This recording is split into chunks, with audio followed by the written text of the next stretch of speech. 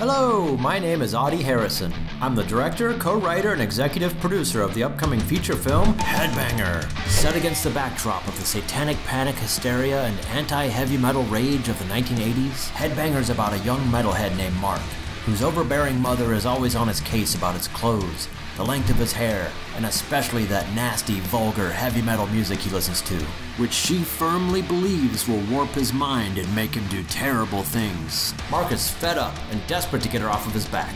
So what does he do? He hypnotizes her. But ironically, that also makes her susceptible to the terrifying suggestions of heavy metal. And his mother begins murdering all of his friends and ruining his life. Poor Mark has created his own twisted version of Frankenstein, and if she's not stopped soon, it just might be the end of heavy metal forever. This movie has epic music, over the top gore, an amazing cast of unforgettable characters. Headbanger is a wild and crazy horror comedy, almost as crazy as believing music can make you do bad things. I've worked as an animator and a visual effects artist. I've worked on shows like Uncle Grandpa and Robot Chicken.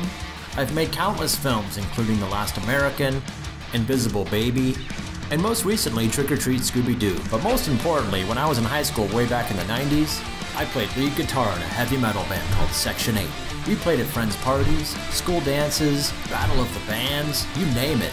In a very small town, we were living a miniature version of being rock stars. And we learned firsthand what it was like to be accused of corrupting the young with our music. My defense was always this why would somebody do something, good or bad, just because lyrics in a song told them to? I mean, you would have to be a complete idiot, or at least have no free will of your own. Hey, that's not a bad idea for a movie. So Headbanger is a real passion project that's been rattling around in my head for many years. It's about censorship. It's about mass hysteria. Something that seems to have gotten way worse since those quaint old days of satanic panic. It's about free will and what happens when it's taken away. But most importantly, Headbanger's about being the craziest, funniest movie you've ever seen.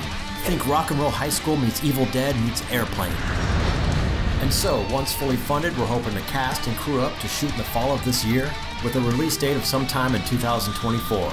And we would love for you to join the Headbanger Brigade and contribute any way you can to help bring this one of a kind movie to life. We've got some amazing incentives and so many ways for you to be a part of the Headbanger experience. So spread the word, tell your friends, share this link on social media. Because in these crazy times, I think we all need something to bang our heads to instead of against. Thanks for watching, and I hope to see you in the mosh pit.